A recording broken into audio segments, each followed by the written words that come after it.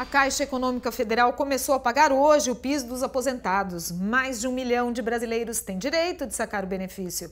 Os contribuintes que vão receber até 3 mil reais podem fazer o saque em lotéricas ou nos caixas eletrônicos com o cartão cidadão. Valores maiores podem ser retirados no atendimento de qualquer agência da Caixa Econômica Federal.